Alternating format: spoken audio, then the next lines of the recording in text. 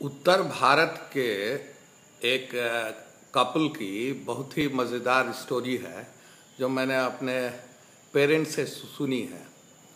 वो पेश करता हूँ। वो वाक़ यह है कि एक मौलवी साहब थे, जो करीब करीब पचासी, छियासी वर्ष के थे, और उन्होंने चौथा निकाह अपना, मैंने चौथी चौथी शादी उन्होंने की थी। और निकाह होने के बाद जो उनकी पत्नी थी वो करीब वही सोलह सत्रह बरस की थी सोडसी और जो गई अपना नैहर नहर गई तो उसके बाद कभी आ आई नहीं। तो ये लगातार खत लिखते रहे अथी करते हैं बुलावा भेजते रहे। और ऐसे सैकड़ों मैंने चिट्ठियाँ और पत्र और पाती इन्होंने भेजी लेकिन वो, वो नहीं आई।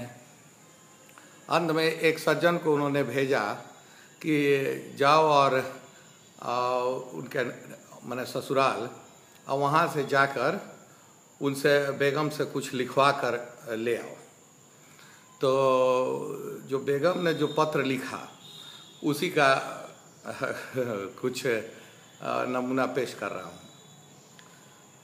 तो उन्होंने संबोधित किया मेरे खूसट सौहर मेरे खूसट सौहर, खुदा तुम्हें समझे। सिकंदर पाताल से प्यासा आया, लेकिन तूने अमृत की दो चार बूंदे अवश्य पी ली है, जो मरने का नाम नहीं लेते हो।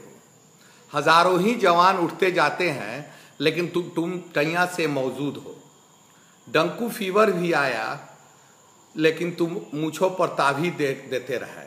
हैजा ने हज़ारों को चट किया, लेकिन तुमने हैजे को ही चट कर डाला। वह पट्टे तुम वो चिकने घड़े हो, जिस पर हज़ारों ही बूंद क्यों न पड़े, लेकिन एक बूंद न थम सके। मैं अपने बाप दादे को क्या क्या कहूँ? मेरी गर्दन तो कूत छुरी से रेत डाली। कूत छुरी का आता है ना, भोथर या थेथर या ब्लड जो नाइफ हुआ उसको। मेरी गर्दन तो कूत छुरी से रेत डाली। न तुम्हारे मुँह में दांत है, न पेट में आंत है।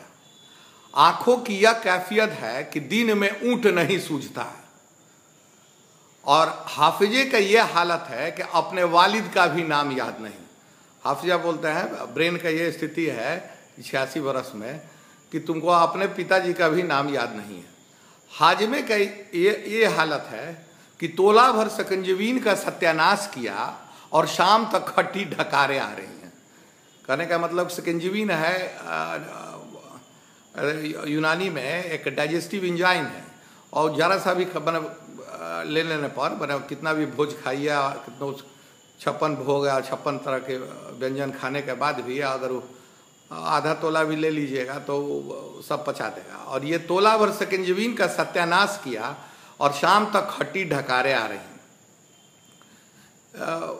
बना इसी तरह से बहुत बहुत बहुत लंबी कहानी है। To make it a long story short तो उनकी पत्नी तो लिख दिया, या खत मिला इनको। तो इन्होंने उसका जवाब दिया, मेरी छैल छविली नादान बीबी तू दूधो नहाओ और पूतो फलो।